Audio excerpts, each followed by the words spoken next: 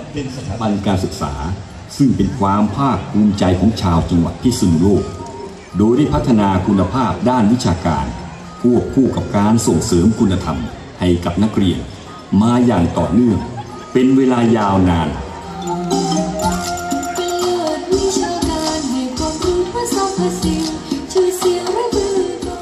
โรงเรียนเฉลิมขวัญสตรี ก่อตั้งขึ้นเมื่อวันที่ 8 พฤศจิกายน พุทธศักราช 2466 มีผู้บริหารตั้งแต่อดีตจนถึงปัจจุบัน 11 ท่าน ดังนี้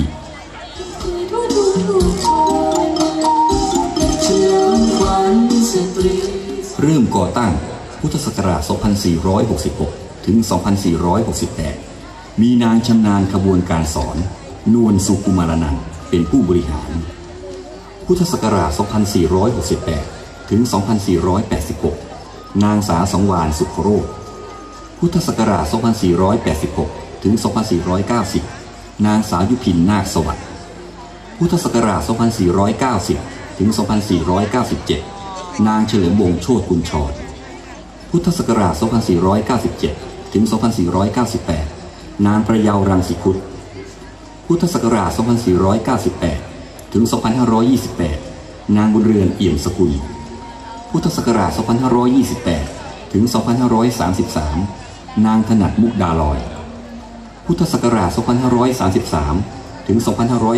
2536 นางสาวศิวพรก้อนบาน พุทธศักราช 2536 ถึง 2543 นางประสบศรีเตมียบุตร พุทธศักราช 2543 ถึง 2553 ดรสุมนาพุ่มประพาสและปัจจุบันมีดรจิตรพรใยสิงเป็นผู้บริหาร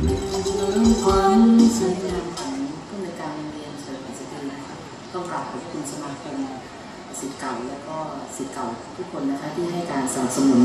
ในการพัฒนาคุณภาพการศึกษาของโรงเรียนเฉลิมขวัญสตรีตั้งแต่อดีตจนกระทั่งถึงปัจจุบันดิฉันมีโอกาสมา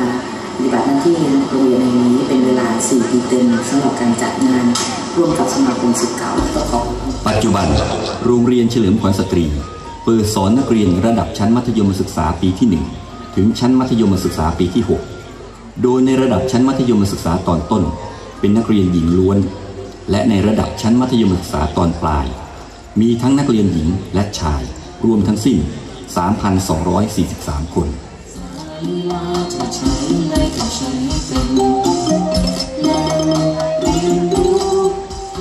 โรงเรียนดำเนินการจัดการเรียนรู้ โดยเปิดสอนรายวิชาต่างๆ เพื่อให้นักเรียนสามารถเลือกเรียนได้อย่างหลากหลาย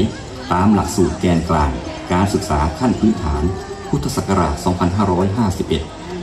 ภาควิชาเสริมส่งปัญญาให้ก้าวหน้าของเรารวมใจ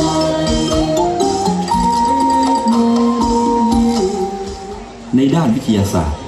โรงเรียนได้จัดโครงการห้องเรียนพิเศษวิทยาศาสตร์ คณิตศาสตร์ และเทคโนโลยี โดยใช้หลักสูตร สสวทจะเป็นปัญญาให้ก้าวตามไป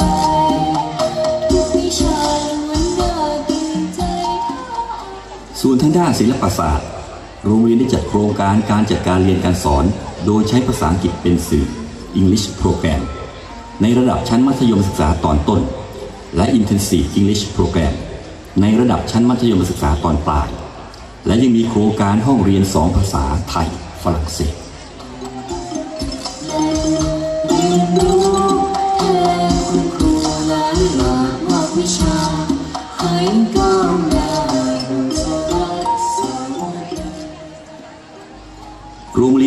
ให้นักเรียนทุกคนได้เรียนภาษาอังกฤษกับชาวต่างชาติเจ้าของภาษา เพื่อส่งเสริมให้นักเรียนได้ใช้ภาษาอังกฤษอย่างมีประสิทธิภาพ มีความพร้อมสำหรับการเป็นประชาคมอาเซียน และโรงเรียนมาตรฐานสากล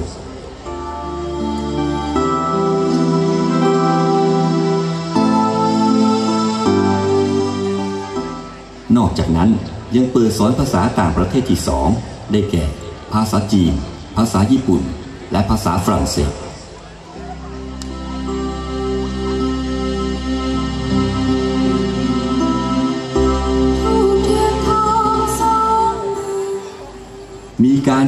ศูนย์วิชาการขึ้นทุกกลุ่มสาระการเรียนรู้ เพื่อใช้เป็นแหล่งเรียนรู้ และมีศูนย์อนุรักษ์พันธุกรรมพืชในโครงการอันเนื่องมาจากพระราชดำริสมเด็จพระเทพรัตนราชสุดา สยามบรมราชกุมารี นับเป็นแหล่งศึกษาดูงานสำหรับโรงเรียนที่สนใจจากทั่วทั้งประเทศสระจาวดีประเทศในด้านภูมิทัศน์ได้มีการจัดสิ่งแวดล้อมภายในโรงเรียนให้สะอาด ร่มรื่น สวยงาม เพื่อเอื้อประโยชน์ต่อการเรียนรู้และการเรียนการสอนแห่งสัพพวิชาในส่วนของการสร้างเสริมคุณลักษณะที่พึงประสงค์แก่นักเรียนนั้น โรงเรียนมีการจัดระบบดูแลช่วยเหลือนักเรียน เพื่อสามารถดำเนินชีวิตอยู่ในสังคมได้อย่างปลอดภัย ส่งเสริมกิจกรรมจิตอาสา เพื่อสังคมและสาธารณประโยชน์ เพื่อให้นักเรียนมีความตระหนักในการเป็นพลโลก world citizen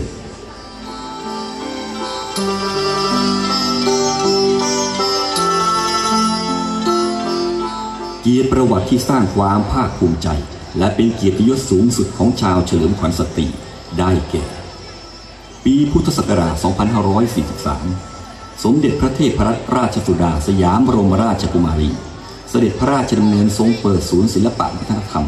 เฉลิมพระเกียรติครบหกรอบ พระชนมพรรษา พระบาทสมเด็จพระเจ้าอยู่หัว ปีพุทธศักราช 2550 สมเด็จพระเทพรัตนราชสุดา สยามบรมราชกุมารี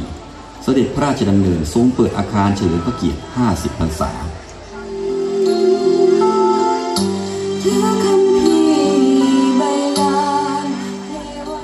โรงเรียนรางวัลพระราชทานระดับมัธยมศึกษาขนาดใหญ่ 8 ครั้ง และในปีพุทธศักราช 2553 ได้รับโล่พระราชทาน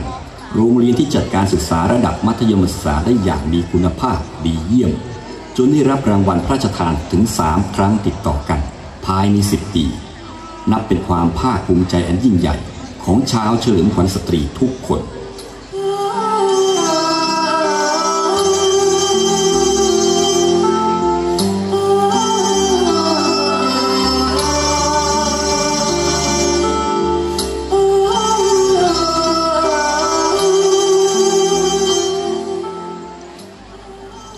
เฉลิมขวัญสตรี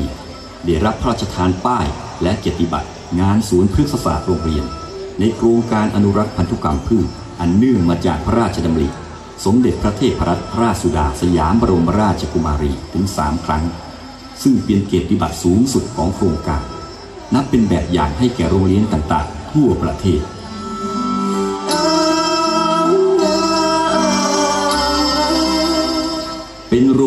ตรฐานสากล ISO 14001 ด้านการจัดการสิ่งแวดล้อม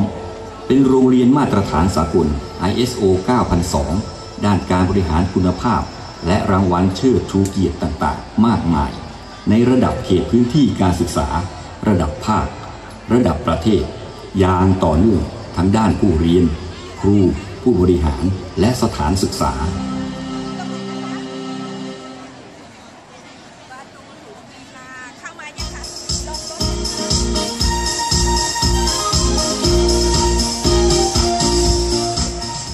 ประเมินภายนอก โดยสำนักงานรับรองมาตรฐานและประเมินคุณภาพการศึกษา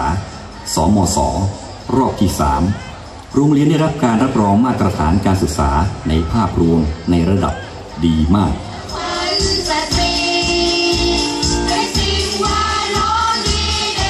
ความสำเร็จทั้งหลาย และความมีชื่อเสียงและเกียรติยศของโรงเรียนเกิดขึ้นอย่างงดงาม ทั้งนี้ได้รับการสนับสนุนอย่างดียิ่ง จากคณะกรรมการและกลุ่มองค์กรดังนี้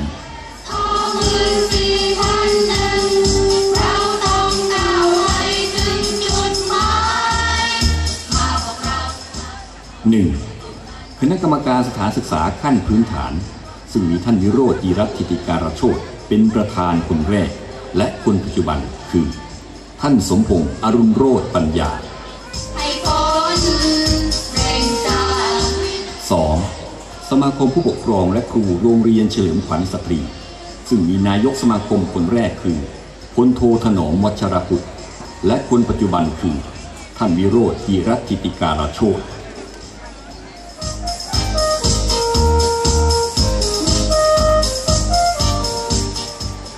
3. สมาคมสิทธิ์เก่าเฉลิมขวัญสตรี ซึ่งก่อตั้งมาได้ 53 ปี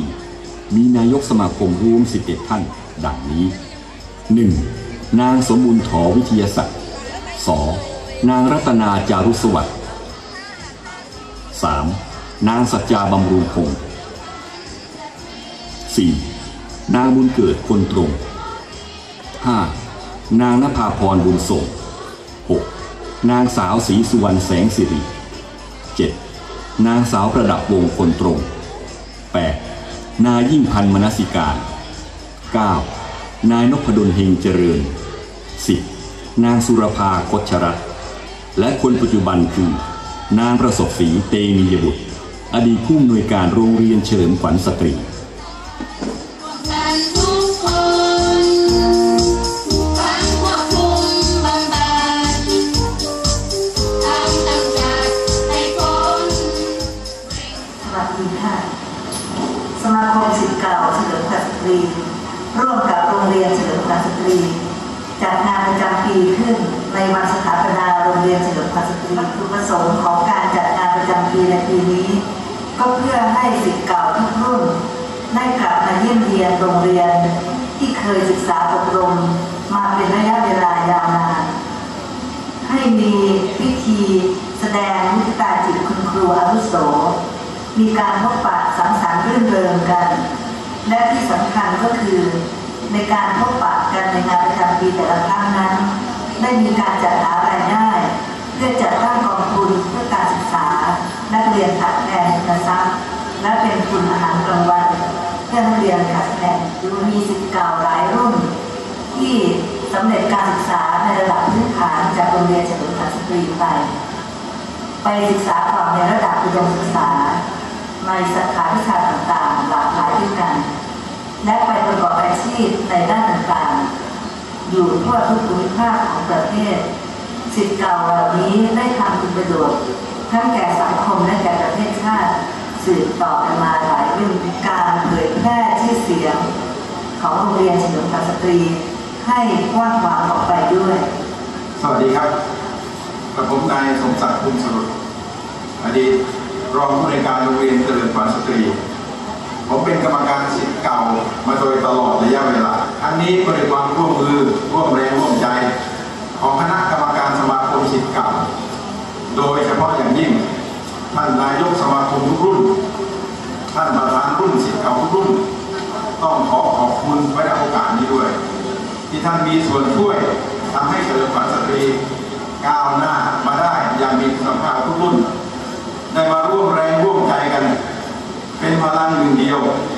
ที่จะผลักดันให้โรงเรียนเฉลิมขวัญสตรี ก้าวหน้าอย่างมีคุณภาพ เป็นหนึ่งในจังหวัดพิษณุโลก เป็นหนึ่งในภาคเหนือ และเป็นหนึ่งในประเทศไทยตลอดไปขอขอบคุณสวัสดี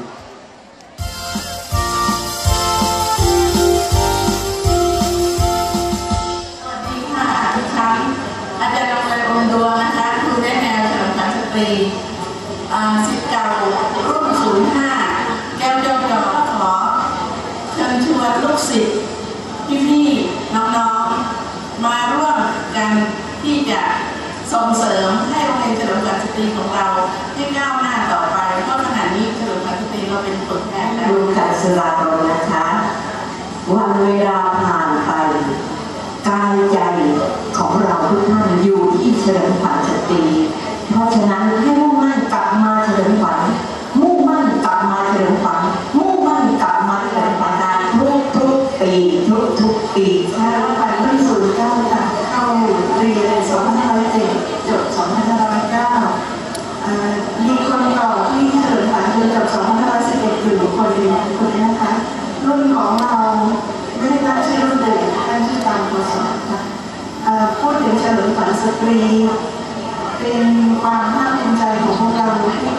ได้เป็นศิษย์เก่า สิ่งที่พวกเราพอที่จะทำได้สำหรับเฉลิมพระสตรีก็คือการรวมรุ่นแล้วก็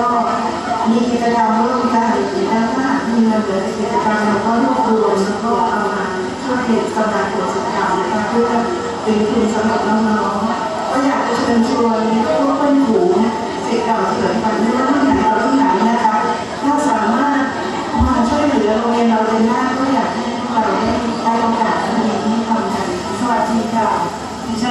ทานีสุขสมคิดนะคะจากวิทยาลัยราชการดินฟ้าพิษณุโลก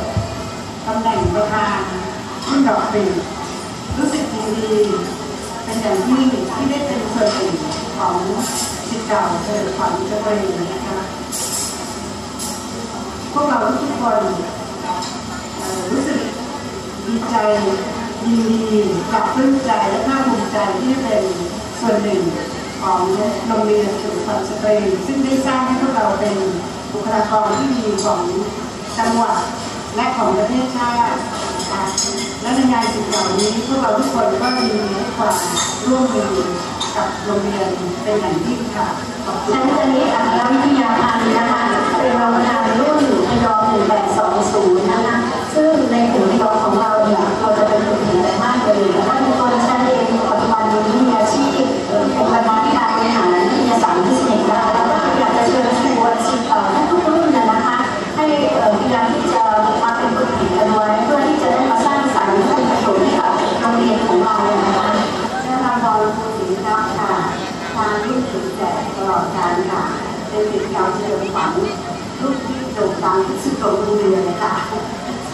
เพียงแต่ขอต้อนรับทุกท่านที่เข้ามาช่วยเหลือโรงเรียนของเรา แล้วก็เมื่อไรที่มีงานโรงเรียน ก็ขอเชิญพี่ๆน้องๆทุกรุ่นได้เข้ามาร่วมงานโรงเรียนด้วยนะคะ ขอขอบคุณค่ะ สวัสดีค่ะ ฉันนายานิกาสิริวัฒน์ ประธานรุ่นบานิ่งโรยโรงเรียนเฉลิมพระสตรีค่ะจบชั้นมัธยมศึกษาปีที่สามเป็นพศ2521 และมัธยมศึกษาที่ห้าปี2523ค่ะในโอกาสนี้เนี่ยฉันขอเชิญชวนพี่พี่ๆน้องๆชาวเฉลิมขวัญทุกท่านได้มาร่วมทำกิจกรรมและสนับสนุน ของโรงเรียนของเราเราตลอดไปสวัสดีค่ะดิฉันนางพัชราหวังโอดีชื่อเดิมนางสาวพัชราวัฒนาจบปีการศึกษา 2524ปัจจุบันดำรงตำแหน่งสมาชิกสภาองค์การบริหารส่วนจังหวัดพิษณุโลกผลงานดีเด่นที่ให้กับโรงเรียนเฉลิมขวัญสตรีคือ ษาให้กับโรงเรียนและช่วยเหลือกิจกรรมทางโรงเรียนโดยเสมอมา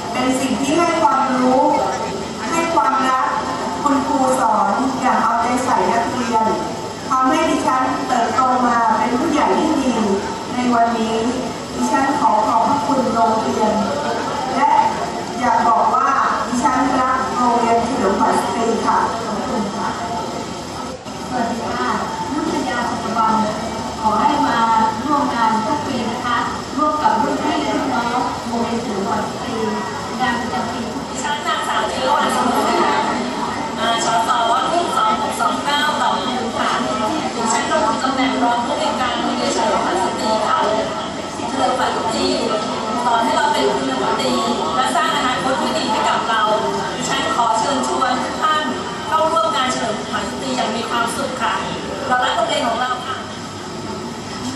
เราสิทธิ์เก่าทุกรุ่นขอให้สัญญาประชาคมนักที่นี้ว่า